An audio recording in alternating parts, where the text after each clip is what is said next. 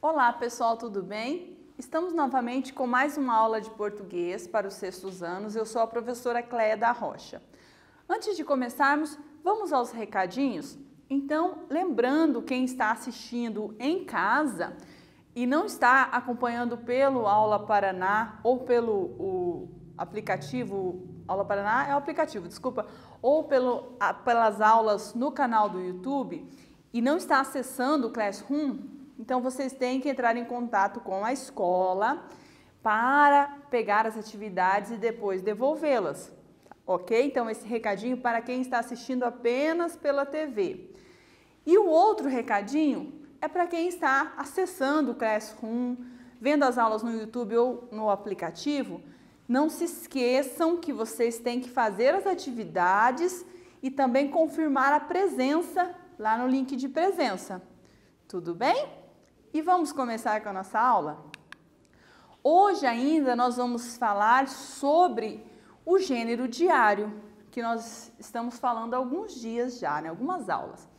E nós vamos continuar também falando sobre os pronomes demonstrativos, que foi a nossa matéria da aula anterior. Tudo bem? Vamos começar? Então, trabalharemos o diário e os pronomes demonstrativos. Vamos começar com o nosso quiz? Então, observe. Sobre os pronomes demonstrativos, assinale a alternativa incorreta, ok? Lembrando, pessoal, que aqui o correto é ficar é, com a letra minúscula aqui, com, depois dos dois pontos. É que o computador, às vezes, o editor, ele corrige automático quando a gente faz uma lista, mas depois de dois pontos, letra minúscula, ok? Então vamos lá. Sobre os pronomes demonstrativos.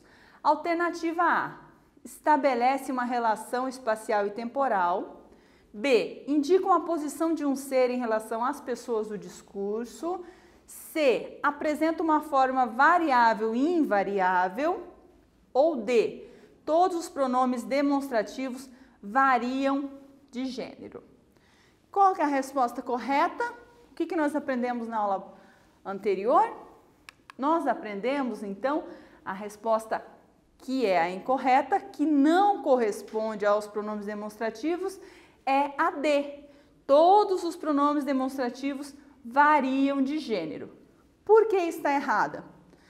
Porque nós temos pronomes demonstrativos que variam, por exemplo, este, esta, essas, esses, e temos pronomes que não variam, aquilo, isto, isso. Então, nem todos os pronomes demonstrativos variam de gênero e aí essa está errada. Todas as demais estão corretas em relação aos pronomes demonstrativos. Então vamos continuar falando sobre o diário. E aí vamos lembrar que nós estamos lendo um diário ficcional, ou seja, é um texto que imita o diário, mas ele foi criado por um adulto imitando é, pensando como seria o dia a dia de um menino, ok? Então, o adulto é o Jeff Kinney, que cria para vocês o Diário de um Banana. Vamos recordar que aqui o Kinney, ele brinca com a estrutura do diário, que tradicionalmente é manuscrito. Você compra uma agenda, escrito diário, essa agendinha, que tem os dias, é, os meses, e você começa a registrar as suas experiências, as ideias que você tem. Às vezes você gosta de escrever poemas, você pode também registrar no diário os seus poemas. Você teve uma vontade, uma inspiração de escrever um poema naquele dia, você registra ali. Vai que um dia você se torne um poeta conhecido. Aí vão publicar o seu diário desde agora. Tudo bem? Então vocês veem aqui, tem a, a página do livro e este é o texto. Vamos reler esse texto? Nós já relemos na aula passada, mas é sempre bom estar relendo os textos. Então, quinta-feira, o papai está tentando de novo o negócio da dieta, o que é uma notícia para mim. Há uns três dias ele não come nenhum chocolate e está muito rabugento. No outro dia, depois que papai me acordou e disse para me arrumar para a escola, acidentalmente caí no sono de novo. Acredite, essa é a última vez que cometo esse erro. Esta manhã, enquanto esperava a mamãe sair do banho, me lembrei que alguém tinha dado a ela um roupão no Natal. Aí fui até o armário dela e o peguei. Devo dizer que essa foi uma das jogadas mais incríveis que já fiz. Vestir aquilo era como estar enrolado numa toalha enorme, fofa, recém-saída da secadora. Acredite, as mulheres sabem o que fazem com esse negócio de roupão. Isso me fez pensar que outras coisas devo estar perdendo. Queria ter, perdi, queria ter pedido um roupão no Natal, pois tenho certeza de que a mamãe vai querer o dela de volta. Quase todos os meus presentes este ano foram livros e roupas. A coisa mais parecida com um brinquedo foi o que ganhei do tio Charlie. Quando desembrulhei o presente, não entendi o que era aquilo. Era um aro grande de plástico com uma rede pendurada. Tio Charlie me explicou que era uma cesta de roupa suja para o meu quarto. Então, vocês observam que uma das características do diário aqui, desse diário ficcional, é a ironia, né? O humor. Porque vejam, né? O tio vai dar um presente para o menino e ao invés de dar um presente que ele poderia gostar, ele dá uma cesta de roupa para guardar roupa suja. Né? Não é exatamente um presente que se dê para alguém de 12 anos, 11 anos, né? A idade que tem esse menino. Então, o, o menino usou aquilo lá para brincar, possivelmente, porque ele fala é, a coisa mais parecida com um brinquedo, né? Então, outras coisas que a gente percebe no texto, que a gente não comentou na aula anterior, né? Essa coisa bem cotidiana que o, menininho está relatando aqui. Por exemplo, o pai fazendo regime, né? E aí o pai fica mal-humorado. Acho que todas as pessoas que fazem regime ficam mal-humoradas, né? Mas assim, teu pai tá muito rabugento. Então, rabugento aqui, quem não lembra, é pessoa mal-humorada, chato, né? Implicante. E aí, o que aconteceu com o menininho?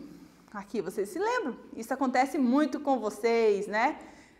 A, a mamãe o papai ou vocês têm que são adultos, às vezes acordam para ir à escola, a mamãe e o papai acordam vocês e de repente vocês dormem novamente, né?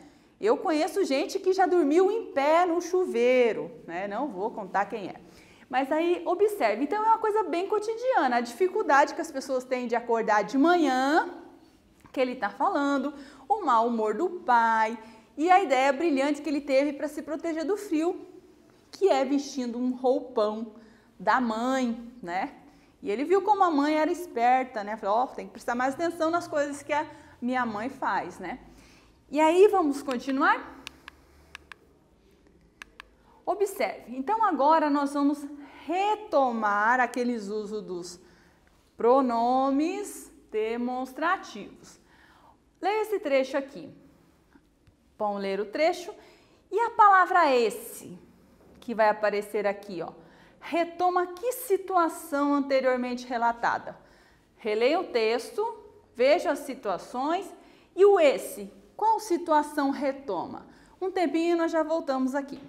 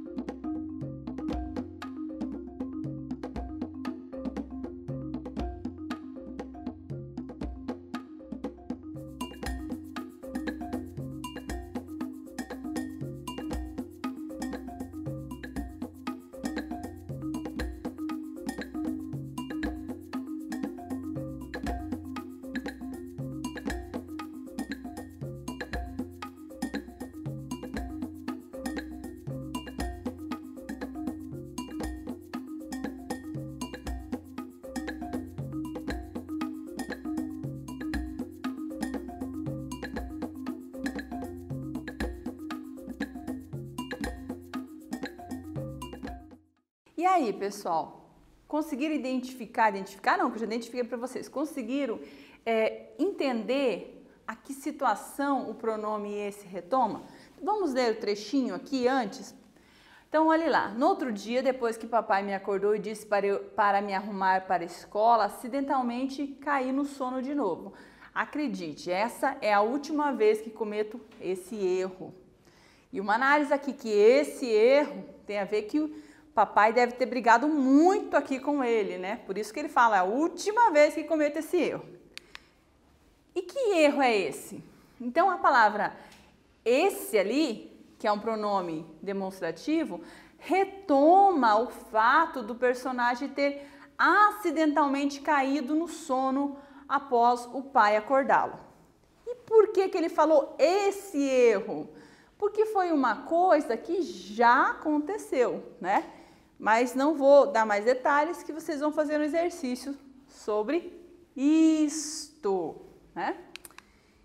Então vamos retomar os pronomes demonstrativos que nós já aprendemos nas aulas anteriores. Então a gente aprendeu que eles são aqueles que indicam posição de um ser em relação às pessoas do discurso e que eles situam então os objetos, seres em relação ao tempo e ao espaço. Tudo bem? E aí os nossos exemplos aqui. Esta casa é grande, pronome esta para dizer que a casa está perto de quem fala. Essa casa é grande, pronome essa para se referir a quem se fala, para dizer que a casa está perto de com quem eu estou falando. Tudo bem?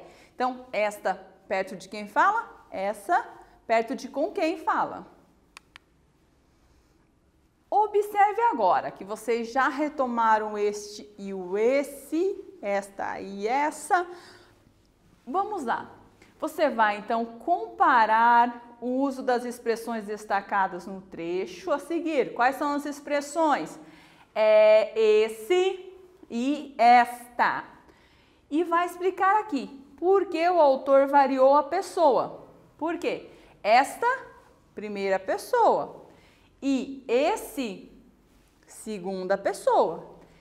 Ao usar o pronome, por que, que ele faz essa variação? Tá? Um tempinho nós já voltamos aqui.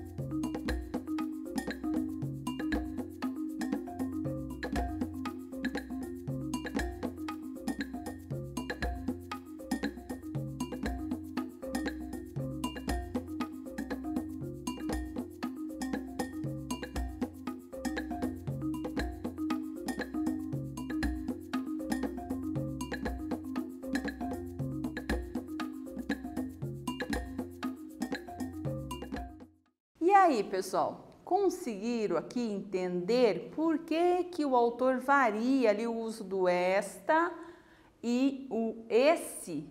Vamos ler?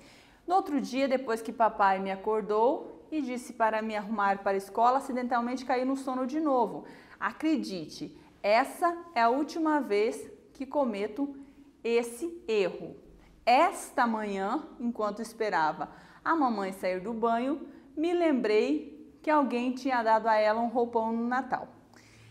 O uso do esta aqui, do esse, ele tem uma razão que a gente diz que é de semântica, de sentido, de significado mesmo. Porque, olha só, olha só a nossa resposta. Essa, ó, acredito, essa é a última vez que cometo esse erro. Observe, então, ele compartilha com o leitor, segunda pessoa, quem está recebendo a mensagem, algo já acontecido. Retoma algo que já foi dito no texto. O que, que ele disse no texto?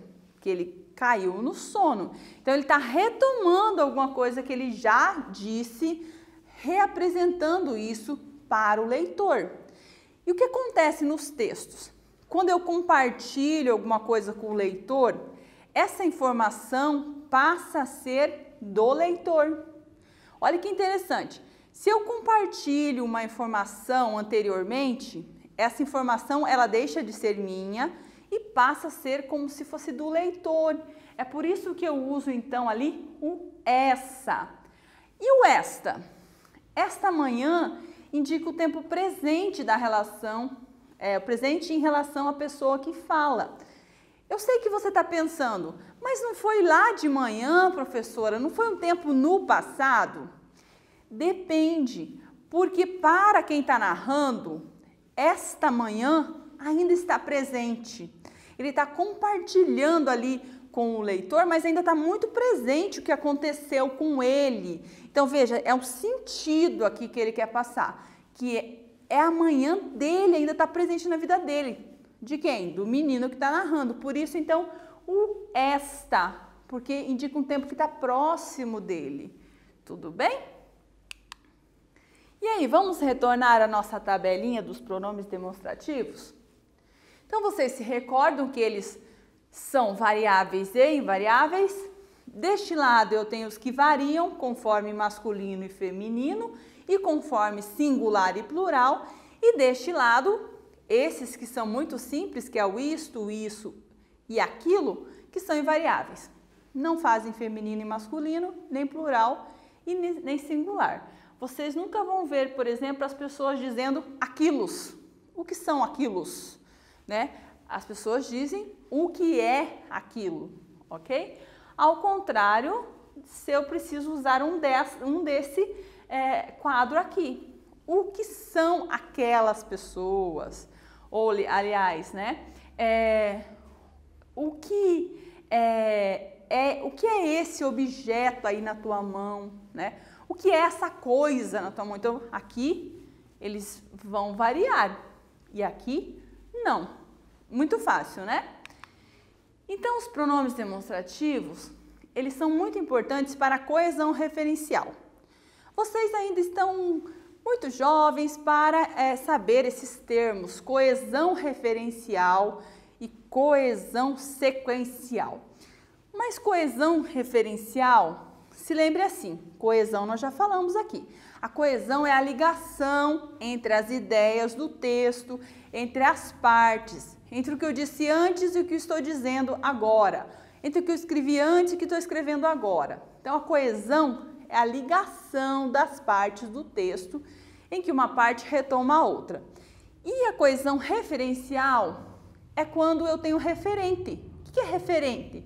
Referente ou referente, né? O curitibano fala referente. O referente, o que é? É alguma coisa que, algum objeto, alguma palavra que eu já disse antes, tá? Então, o referente é alguma coisa que aqui eu vou fazer referência, tá? Então, é uma palavra que eu já disse, um termo, e eu vou retomar. Esse termo, tá? Então, coesão referencial é isso. Quando eu retomo um termo, eu uso um sinônimo, eu uso um pronome para substituir isso que eu já disse. A coesão sequencial ela é um pouco mais complexa, porque ela vai é, unir ideias. Então, não vai retomar uma coisa, ela vai unir as ideias, estabelecendo relações entre elas. Tudo bem? Então, aqui na coesão referencial, eu tenho o uso dos pronomes demonstrativos que são muito importantes. Por quê? Porque eles retomam elementos, ideias, sem precisar repetir todas as palavras anteriormente ditas. Então, eles enriquecem o texto. Vamos ver aqui uma atividade para vocês observarem esse uso? Então, o que, que vocês vão fazer? Vocês vão identificar no trecho a seguir quais pronomes relativos foram utilizados com a função de retomar aquilo ou retomar algo que já foi dito, tá? E que informação eles retomaram? Então, identifica o pronome e o que ele retomou, qual informação. Um tempinho e nós já voltamos.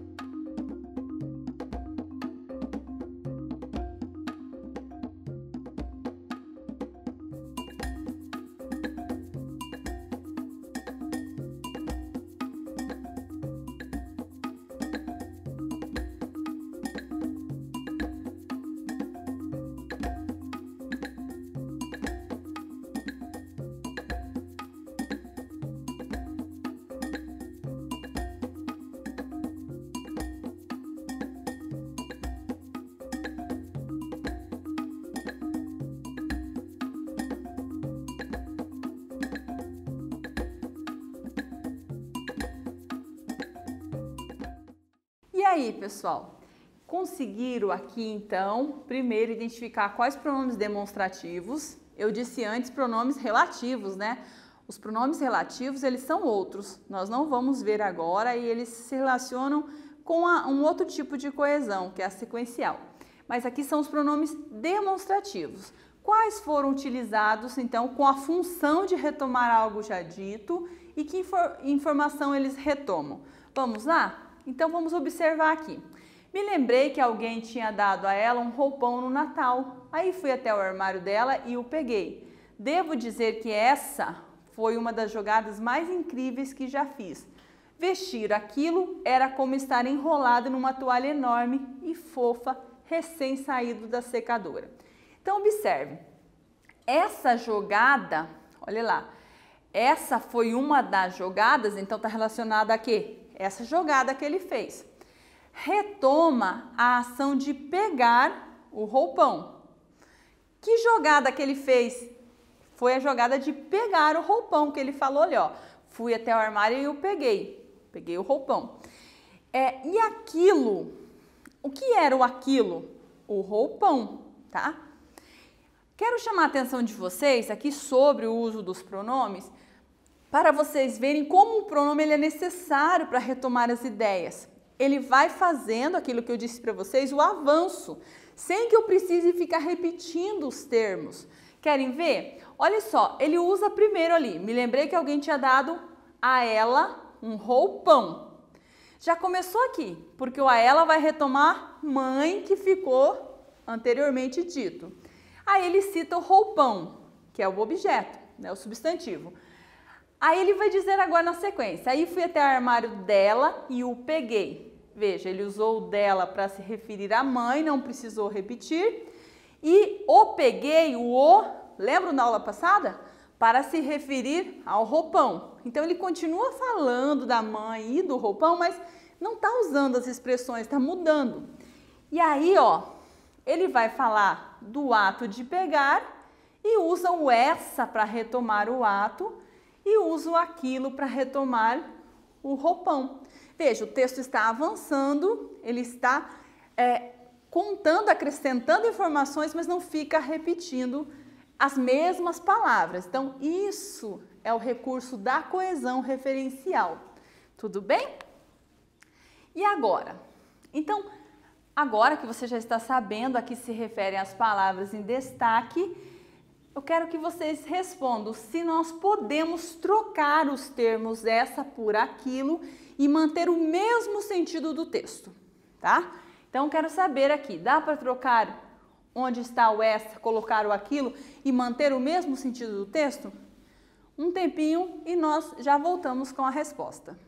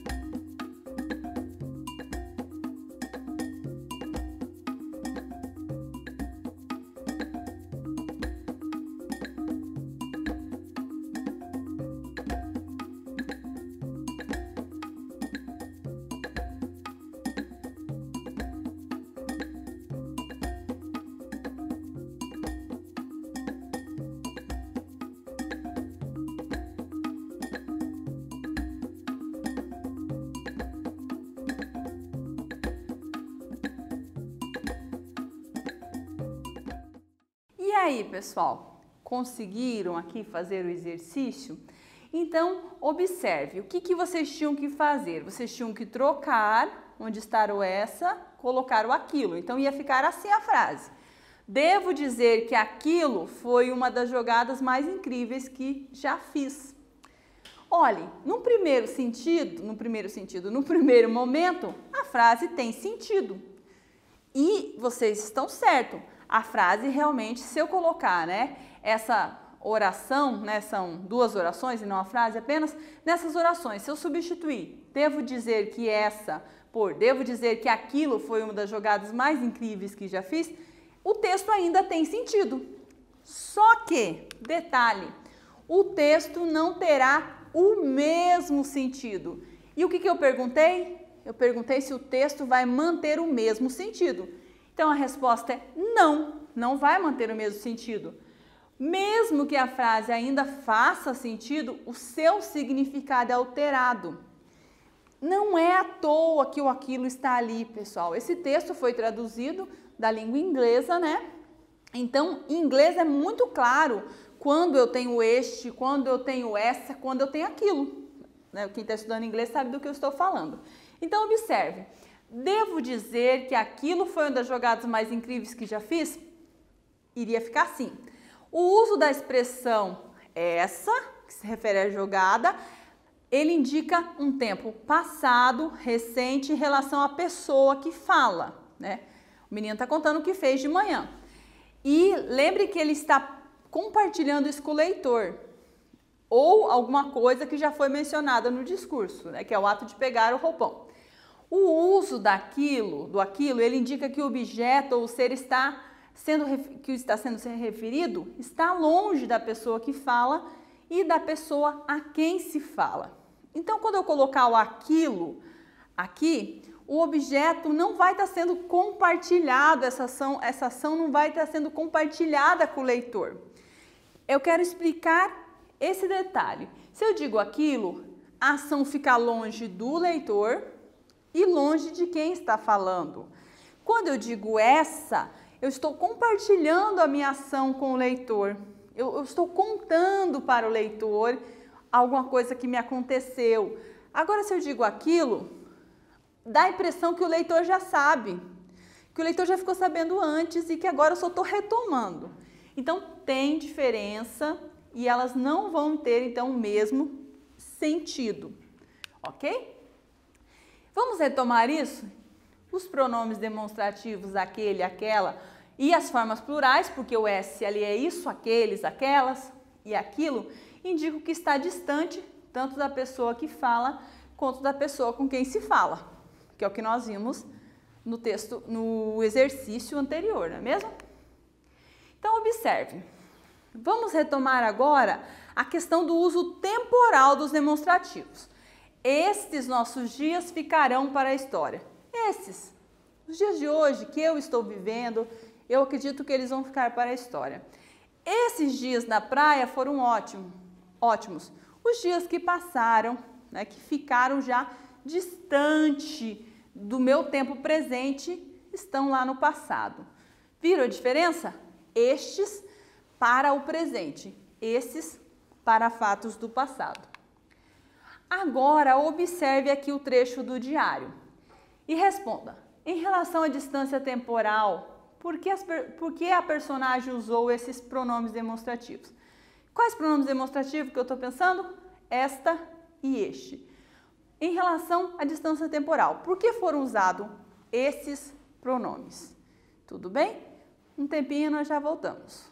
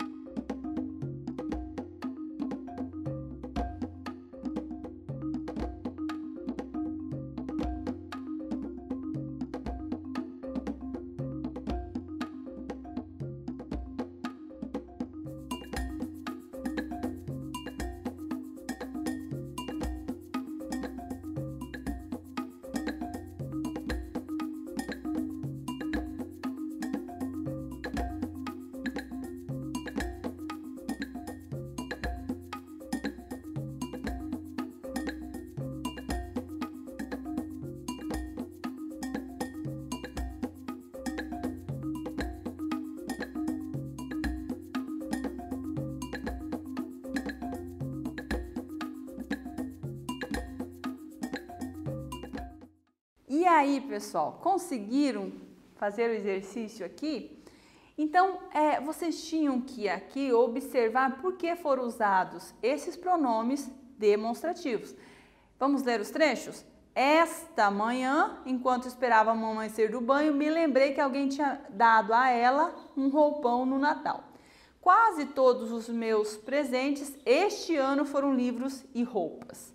Tá? Então, são dois trechos do diário e por que ele usou esses dois pronomes. Então, observe. Os pronomes utilizados, eles indicam as ações, é, que as ações, desculpa, foram realizadas no presente. Lembra que eu já comentei isso com vocês? Esta manhã está próxima, né, do que ele está falando. Ele está na cabeça dele ainda, os acontecimentos, então está próximo. Pense que é o sentido aqui, que eu não posso ser literal e falar ah, esta manhã Está no passado, professor, então é essa manhã. Sim, cronologicamente, vocês que pensarem assim têm razão, porque essa manhã já ficou lá, mas não acabou o dia ainda. Né? O dia ainda está continuando. Então, esta manhã pertence a que dia? A este dia que eu estou vivendo, então está próxima mentalmente da personagem. E este ano mesma coisa. A pessoa ainda está vivendo aquele ano, aquele ano não acabou, não ficou no passado. Então, este ano. Então, os dois estão próximos de quem está nos relatando. Próximos como? Temporalmente, né? A relação de tempo é próxima. Tudo bem? Quero falar um pouquinho para vocês sobre o uso do, do isso e do esse. Eles são muito usados, pessoal, na coesão referencial, que eu já expliquei a vocês, para retomar é, palavras, orações, períodos, que são textos, é, uma, uma quantidade de texto maior, né? Para retomar, então, coisas que eu disse antes, e por isso eles têm o nome de anafóricos. Anafóricos é a ideia de repetir, né? Quando a gente estuda figuras de linguagem, a gente estuda anáfora, que é a repetição de termos. Então, anafórico é a repetição, mas lembre-se, eu repito de uma outra forma. Eu não uso as mesmas palavras, os mesmos termos. Eu construo uma, a mesma ideia, retomo a mesma ideia, mas com palavras diferentes, usando os, os pronomes. Então, observe, eles podem retomar orações inteiras, até mesmo períodos. Por isso dizemos que ele exerce essa função anafórica. Então, observe aqui, isso é muito comum nos textos formais escritos. Olhe lá, a saúde preventiva salva milhões de pessoas. Esse aspecto não pode ser negligenciado. negligenciado. Observe, esse aspecto, que aspecto? Que a saúde preventiva salva milhões de pessoas. Ou ainda, qual aspecto específico? O fato dela salvar milhões de pessoas. Estão entendendo? Quando eu coloquei esse aspecto, qual aspecto? O aspecto da saúde preventiva que faz com que ela salve milhões de pessoas. Veja, eu estou retomando uma ideia quase toda do que eu disse, ah, uma ideia quase toda anteriormente dita. Estão vendo? Então, esse aspecto é um recurso muito utilizado. E aí outro aspecto, a saúde preventiva salva milhões de pessoas. Isso não pode ser ignorado. Isso o quê? O fato dela salvar milhões de pessoas. Vejam, aqui eu acrescentei aspecto, daí tem que ficar esse aspecto. Aqui, como eu fui genérico, eu digo isso. Só o isso retoma tudo isso dito anteriormente. Observe, vamos fazer aqui um quiz.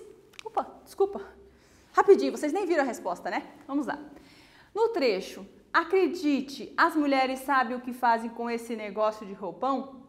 Isso me fez pensar que outras coisas devo estar perdendo? A palavra sublinhada, né? O que, que ela faz? O isso.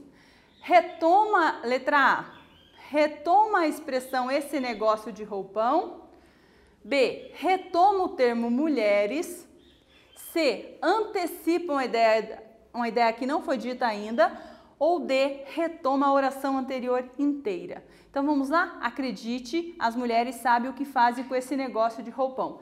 Isso me fez pensar que outras coisas devo estar perdendo. Olha só, o isso retoma toda a oração anterior. As mulheres sabem o que estão fazendo com esse negócio de roupão.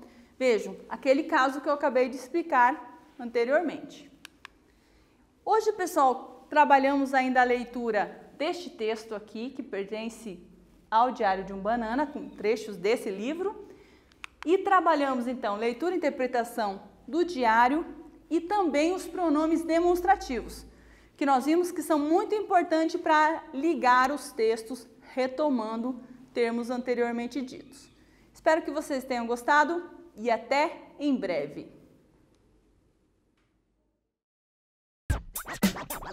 Jump.